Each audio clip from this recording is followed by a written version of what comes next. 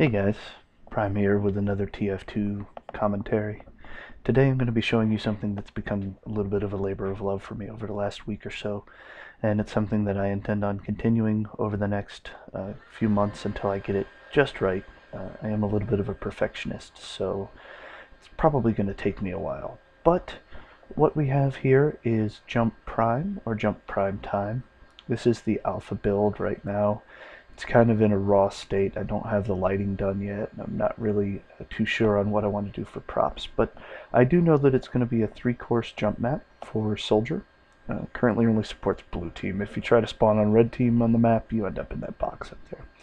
Uh, but course 1 is going to be your basic jumps. There's 10 jumps to course 1. Course 2 is going to be your intermediate uh, to advanced jumps, and that will be um, it will be probably about 15 jumps long. And then course three is going to be extremely difficult jumps, or at least jumps that I think will be extremely difficult. I'm sure those of you out there in the community that have uh, a lot more rocket jumping skill than I do, because I'm just a lowly medic main, uh, will be able to complete the course no problem. But that will probably have about 10 jumps as well. Uh, course number one is the only one I currently have complete. As you can see, I still have uh, the trigger texture here because I haven't tied it to an entity, and that's to let me know uh, that I still need to work on course 2. Um, but I do have all of the jumps as far as the mechanics of the jumps completed for course 1, so I wanted to kind of show you show them to you guys and see what you thought, and maybe you can uh, give me some feedback. So this is jump number 1, just a single rocket jump.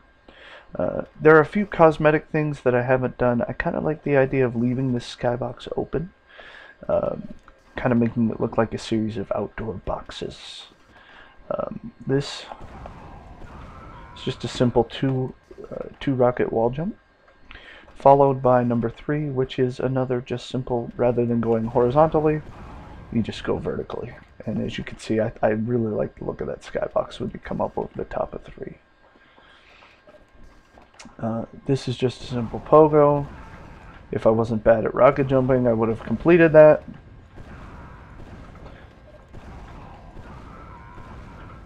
Also, when I'm running fraps, for some reason, I tend to get a little bit of a lag on my rockets, so it makes it a little harder to jump. But hey, I'm a medic man. I'll take any excuse I can get to not be good.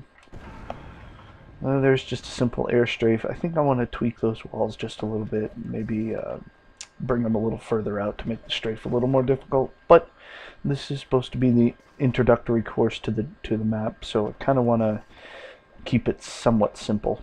Um, that being said, we go into what I think is the most difficult jump of this particular uh, course, and that's the sync. I'm sure there are some of you that will disagree, but uh, for an, a beginner rocket jumper or an um, intermediate rocket jumper, syncs can still be a little bit of a, a problem. As you can see, I still have some work to do with the detailing, but the mechanics of the jumps are all uh, ironed out for the most part. Number seven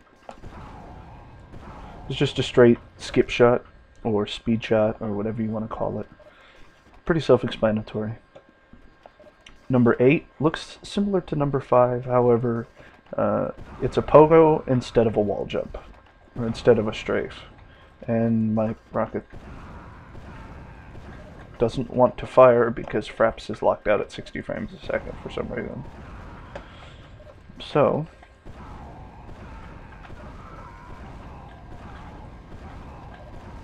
there we go.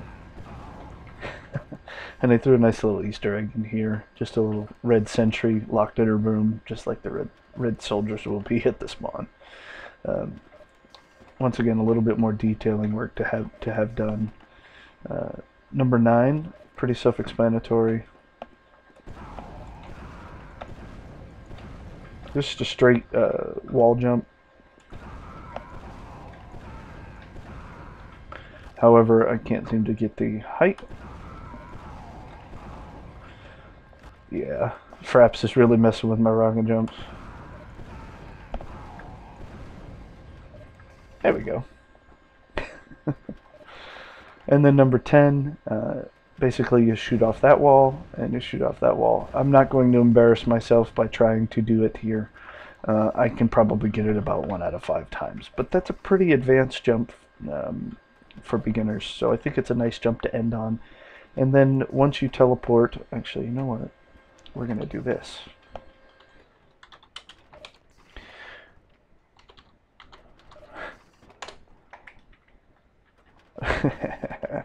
there we go. uh, we'll just no clip through. And uh, we'll try to teleport back to spawn. There we go. Let's turn no clip off. Alright, so that's Jump Prime right now. Um, like I said, I just have course one complete. Let me know what you guys think of it. Let me know of any improvements you might see, uh, any suggestions for future jumps that you might like me to incorporate into the second or third course. Um, as I update the map and keep it, uh, it's not really ready for release yet. I want to at least get uh, course 1 and 2 complete before I release it in an alpha form to uh, let people play test on their own servers. Um, but if you like what you see and you're interested in running it on your server, once I get everything complete, let me know, and I'll be happy to send you a copy of the file. Um, that's about it, guys. Appreciate you watching the video. Take care, and I'll see you when I see you.